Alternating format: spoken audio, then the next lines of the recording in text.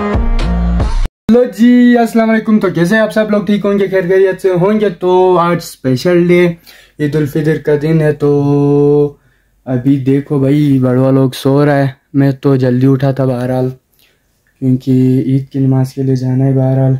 Time देखो यार, सात सात बज कर दस मिनट हुए हैं।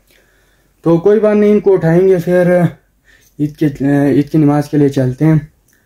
तो चलो जी, ठीक है, फिर बाद में मिलते हैं। हाँ जी तो अभी हम सबके घर गए हैं, ठीक है ना? क्योंकि वो वीडियो तो मैं दिखा नहीं सकती क्योंकि मोबाइल में चार्ज कम था, इसलिए मैंने चार्ज पे लगा लिया था। तो अभी थोड़ा बहुत हो गया तो ये है ना कि वो सब तो मैं दिखा नहीं सका आप लोगों को। माजरत हूँ आपसे।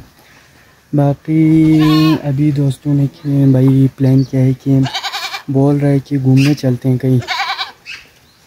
घूमने तो जाना पड़ेगा भाई, वरना ईद का मज़ा ख़राब हो जाएगा। पहले तो मज़ा ख़राब हो गया है। आज ईद है ना? बिल्कुल भी यार, मज़ा नहीं आ रहा है कसम से, क्योंकि मैंने जो कपड़ा लिया था, वो दर्जी के पास ले लिया तकरीबन मैंने 26 तारीख को लिया था, कपड़ा लिया था, रमज़ान के 26 को, ठीक है?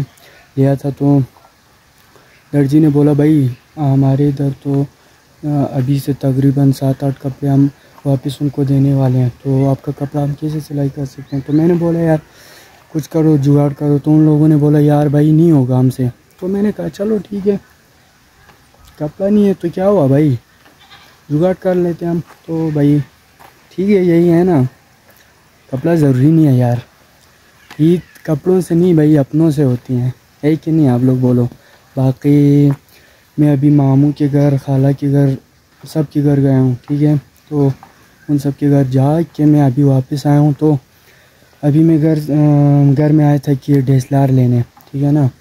कैमरा लेने के लिए आ गया था, क्योंकि घूमने जाना है। तो बाकी का व्लॉग आप लोग इन्जॉय करो भाई, ठीक है ना? इन्जॉय करो तो बाकी हम व्लॉग आप लोगों को दिखाते हैं इन लास्ट तक, बस जुड़े रहो। तो फिर मिला।